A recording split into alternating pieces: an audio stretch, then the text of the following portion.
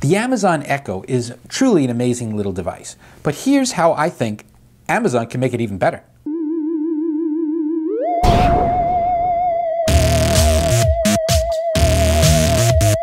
In a previous video, I talked about the fact that these are not very portable. At least this model isn't. Because it is tethered to this cord, people tend to not want to go through the effort to unplug it, to move it from room to room. So there are a lot of people, like me, who have more than one in their home. Now, if you have an upstairs and a downstairs, maybe you want to put one in the kitchen, put one in the living room, put one in a couple of different bedrooms. Maybe you might even want to go full tilt on this and put one in every single bedroom, plus the living room and the kitchen. So now you have like you know, three or four bedrooms. You got your kitchen, you got the dining rooms, wherever else you put them. Wouldn't it be great to be able to use these things as a intercom system between rooms? So I'd be able to say, Alexa, intercom uh, Joe's room, and then it'll, it'll say, okay, and then ring Joe's room, and we ring like a phone, and the person in the room would say, Alexa, answer, or just simply answer.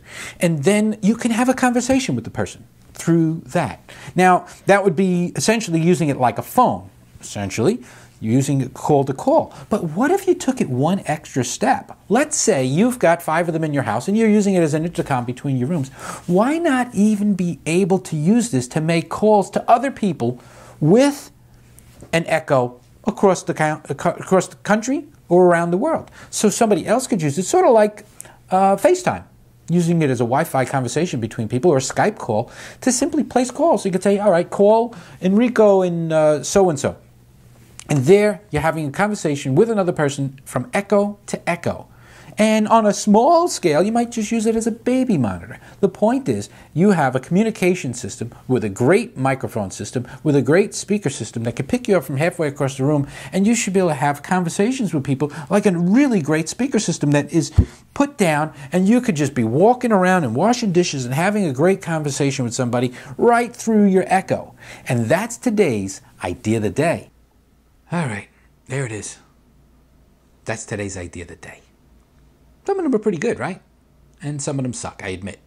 First to admit, some of my ideas suck. But if you visit Idea of the Day every day and you subscribe to my channel by looking at the subscribe link in the corner, you'll see a brand new idea every single day. And I promise you, some of them don't suck.